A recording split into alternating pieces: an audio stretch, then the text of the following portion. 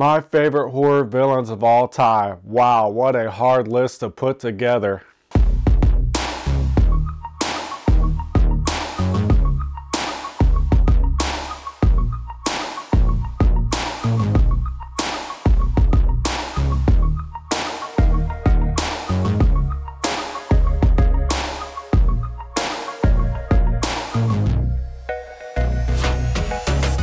Hi guys, this is Josh with J Show Horror back again. Today I'm going to be telling you guys my all-time favorite horror villains. This list was really hard to put together for me, particularly the order of the list. It was really hard because horror is my favorite genre. There they we have a lot of great horror villains to go along with it. Uh, if you ask me on a different day, maybe my list would be interchanged a little bit but this is my order as of today. But like I said, it was really hard to put this list together. And definitely hit that like and subscribe button if you love all things horror. This channel is dedicated to horror movies, so definitely subscribe if you love horror. Now, I do want to give some honorable mentions before I get to my list. My first honorable mention is going to be Norman Bates from the Psycho series. Now, I think Anthony Perkins plays him to perfection. I like Norman. He he's kind of can be charming at times, and then he flips to the other side of the coin. And I think Anthony per- Perkins plays both sides of the coin very well. And I do see Norman Bates as like a stepping stone from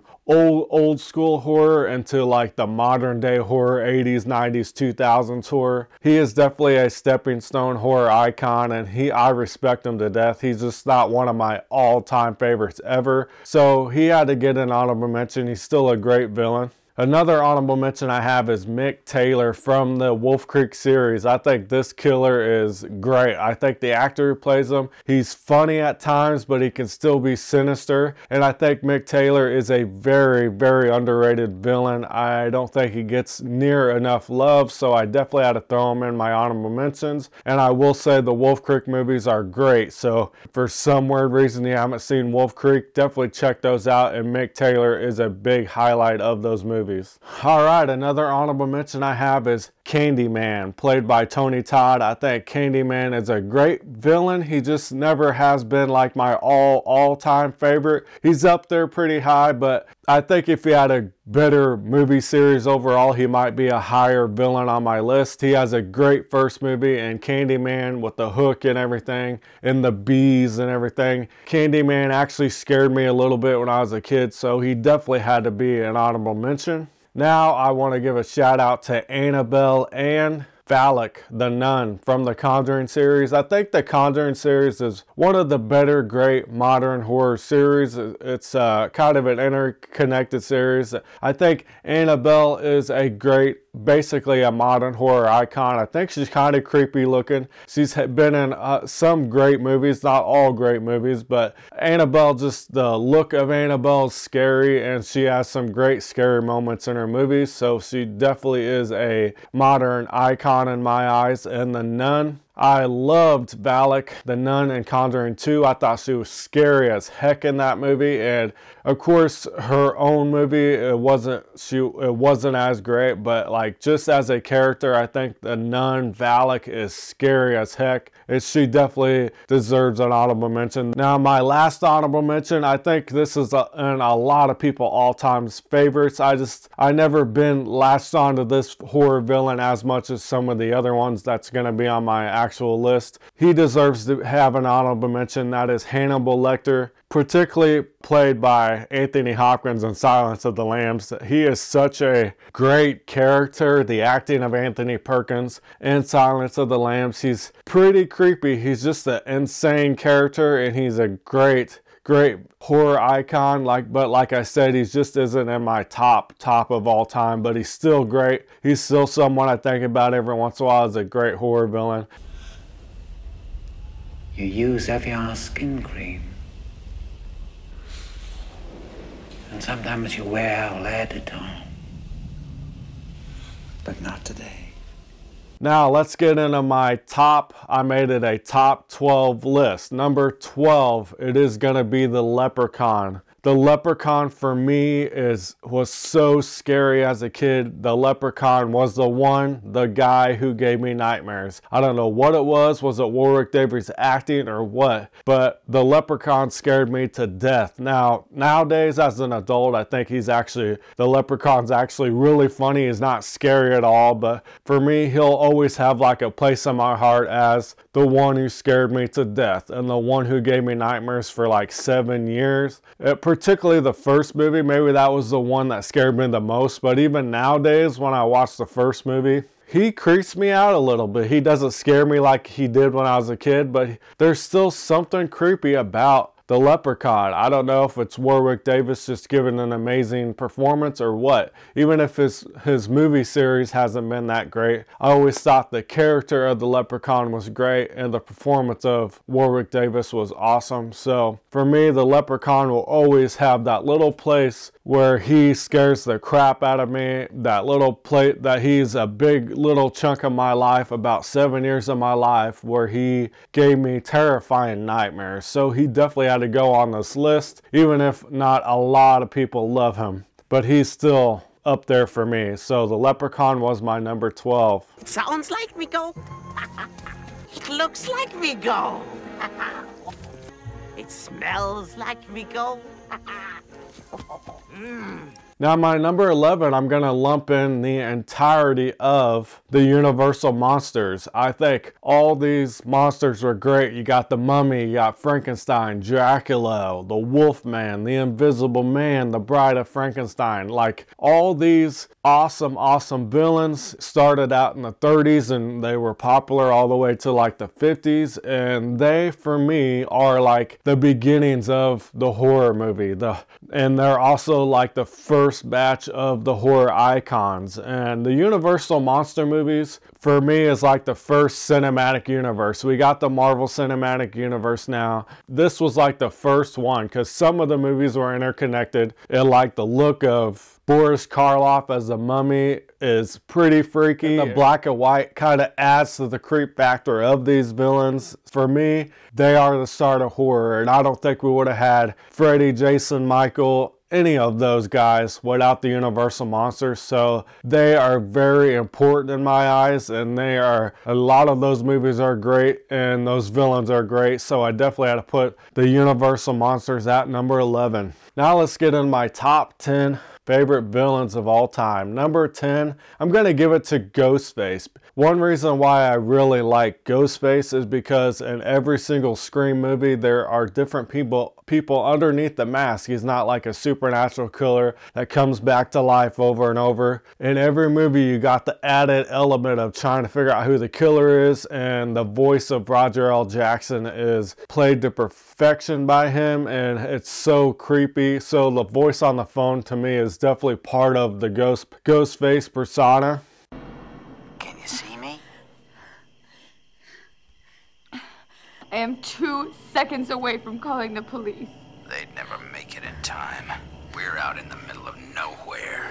Now, Ghostface doesn't have a lot of great kills in the Scream series in particular, not like the other horror villains, but he, just like the, the mystery element, really adds to it. And I, I like the simple look of Ghostface and everything the black robe, the, the actual face. So, yeah, everything about him is great. He just isn't up super high on my list because he just doesn't have as the exact same wow factor as some of the other ones, but he still deserves to be on this list. And of course, the Scream movies is like one of my favorite horror series of all time. But yeah, Ghostface is pretty awesome, so I still had to put him on this list. Coming in at number nine, I'm gonna give it to Jason Voorhees slash Pamela Voorhees. I do want to mention Pamela with Jason, put them together because I do think Pamela Voorhees is a great horror villain that's a little bit underrated. Jason outshines her, of course, on the Friday 13th series, but without Pamela Voorhees, would we ever have gotten Jason? I don't know if we ever would have got him. I think Betsy Palmer really plays her very well. She very was really good at being like the caring mother, but also playing kind of like the crazy psychotic side to Pamela also.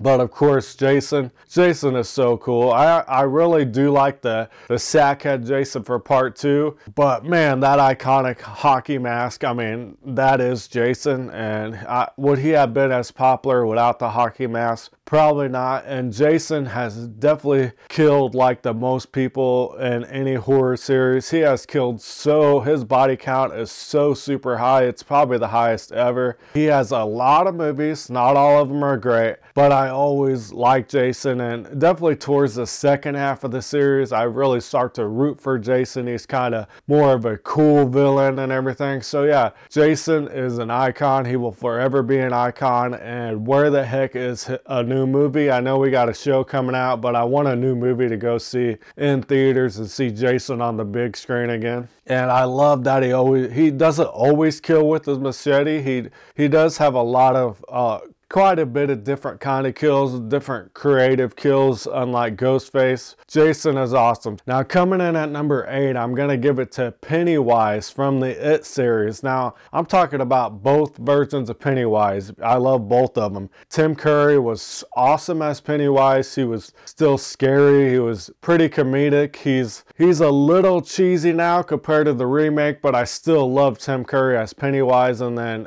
Bill Skarsgård as Pennywise was amazing, and Pennywise is scary. He's he can be funny at times. He has some so many great moments in the remake. I love that remake, and Pennywise is just freaking scary to me. I'm not really scared of clowns, but when I think of clowns in horror movies, Pennywise definitely is right up there as one of the greatest horror villains of all time. Definitely love Pennywise. Now, my number seven is gonna be Chucky. Tiffany. I think they go great together. I think Chucky was a great horror icon for the first three movies, and then Tiffany showed up in Bride of Chucky, and I, I like her almost as much as Chucky. I think they were awesome together in Bride of Chucky, and Chucky has, is like, Chucky can be scary and comedic, and Brad Dourif plays him to perfection. He's he, he cusses, he's got a dirty little mouth, and he's just so funny, and he definitely has like one of the best personalities of many horror icons. And then you throw them with Tiffany, and Tiffany just adds another great element to all the whole thing. So like Killer Doll with a great personality, unlike Annabelle, she has no personality. Chucky is so awesome, and he's still going with the Chucky TV series. So, man, this guy has been going strong for forever since the late 80s. So, I love Chucky and Tiffany. What would Martha Stewart say? Fuck Martha Stewart! Martha Stewart can kiss my shiny plastic butt! But my number six favorite horror villain ever is Pinhead. I think Pinhead is awesome. He's he's got like a one of the coolest looks out of any villain with all the nails coming out of his head, like the leather get up and everything. And I, I'm even counting Jamie Clayton's Pinhead because she became a one a great version of Pinhead, like a new version of Pinhead. But Doug Bradley, I also think he jumps in the role of Pinhead and played him to perfection from the first movie and particularly even more the second and the third movies. He could be a demon, he could be an angel to some because he will show up. You open the box, he shows up and he could give you pleasure or pain. It's your point of view of what you're actually getting from him. So yeah, Pinhead Pinhead is definitely one of my favorites of all time, one of the coolest looking villains of all time. If he had a better t- movie series, he would he might be number 1 on my list, but his movie series is kind of all over the place for me. But just him himself, Pinhead is awesome, and even Jamie Clayton's Pinhead is pretty cool too. So yeah, all right, now we're into my top five favorite villains of all time. Number five, I'm gonna give it to the Creeper from Jeepers Creepers. I freaking love this villain, especially in the first two movies. I don't really count three and four. The Creeper is so scary. He seemed kind of original when he the movie first came out. He they did really good at keeping him in the shadows in the first half of the movie, so he there's a lot of mystique to him. He you didn't know exactly what this creature was. You thought maybe he was kind of a, a man at first, but you find out throughout the movie that he's a creature. He's got wings. He kind of kind of has gargoyle wings and everything. And he comes back every 23rd spring to eat people to stay alive. That's how he keeps leaving, living. He eats hearts and anything he needs to keep on living. He'll sniff you to he'll sniff your fear to figure out if he wants to, what he wants to eat out of you and everything. And I just, the Creeper for me has been, is one of the coolest villains ever. And I think he's also one of the most underrated villains ever two great movies, two pretty bad movies. He doesn't have like the amazing franchise that some other horror villains have, but just him himself as a villain, he's pretty freaking awesome. So I definitely had to give it to the Creeper. He's awesome in my eyes. All right, number four, my fourth favorite villain of all time. Michael Myers. I love Michael Myers. He's a silent killer. He doesn't have the personality of some others, but whenever he's kind of filmed and shot in a way, I think he's very scary. That pale blank white mask really does it for me. I, even if his mask isn't perfect in all the movies, particularly the first movie, he I think Michael Myers was scary. He's human, but does he have kind of a supernatural edge to him? Like just based on the first movie, he's got to be like one of the best horror icons ever. And like I said, if you keep him in the shadows and you kind of keep some mystery to Michael you and everything, he is perfect. And I also love the version of Michael in Halloween Kills. That is one of my favorite versions of Michael himself. He's kind of more like the Jason Voorhees in Halloween Kills, but he was so badass in that movie, Michael Myers was, that he was awesome. James Jude Courtney is awesome as Michael. But yeah, Michael he was one of my childhood favorites. He still is one of my favorites now. And like I said, with the the pale, emotionless face and like the the speech Dr. Loomis gives in the first Halloween kind of tells you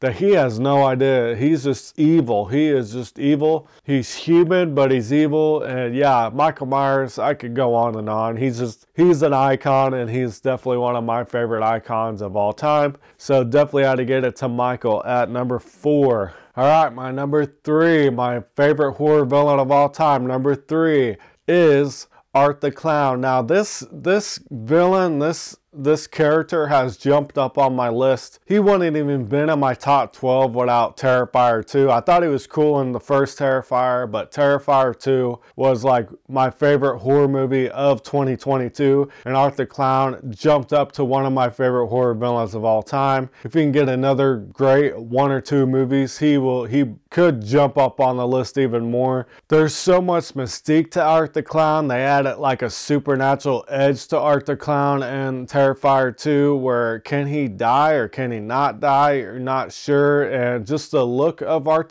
he's pretty scary looking. And you know, the guy like behind that makeup is so psychotic. I mean, he like play, he likes messing with his the victims he's gonna kill before he kills them and Art the Clown will use any weapon. He'll, he uses a gun when he needs to use it. So he's a depraved, depraved character, and he definitely is one of my favorite characters of all time now. And it happened pretty fast. This two movies in and he's already my third favorite horror icon of all time. That's insane. He's just such an amazing character. He's got personality. He doesn't even have to talk to have that amazing personality. So yeah, Art the Clown was is my third favorite horror villain of all time. All right, my second favorite of all time is Freddy Krueger. I think the main reason why I think Freddy might have like the most personality out of any horror villain. He Freddy is super scary, especially in A Nightmare on Elm Street Part 2. That is the scariest Freddy has ever been. He's freaky, he still has some uh, great lines, and I think I really enjoy the mix of Freddy and Dream Warriors where he's kind of funny, but he's still scary at the exact same time. And like the burn look, the striped sweater, the, the Fedora hat, the fact that he can go after you in his dreams just makes Freddy so awesome. Like, he just sticks out to me more than a lot of people. And uh, I think a big reason is Robert Englund as Freddy because he just plays him to perfection. He jumped into that role. And like I said, in the early movies, he's very scary. And then if you want a very cartoony, very comedic version of Freddy, you can watch the later sequels. But just everything about him works for me. And he is just such a fun, fun villain too. So yeah, just love Freddy. Where's his movie too? We haven't had a Jason or Freddy movie in over 10 years. What's going on? Yes, Freddy Krueger is freaking awesome. Every town has an Elm Street. But my all time favorite horror villain is Jigsaw. Big reason why Jigsaw is my favorite. He is in my favorite horror series of all time. He is played to perfection by Tobin Bell. Tobin Bell gives so much to this character. I love the writing of Jigsaw. Jigsaw is I guess you can say crazy, but he thinks he's helping people. He's putting people in traps to, if they survive, they will help them, that he will rehabilitate them which he has a couple times. I think he did help a couple people throughout the series, but it kind of backfired. But in his eyes, he is like their savior. He is uh, making them appreciate life, maybe want to fix everything they've done wrong. So I, there's a lot, like especially the early part of the series. Jigsaw is spectacular. The series is spectacular he just seemed like a different villain like uh, like how creative how smart jigsaw is how he put these traps together and how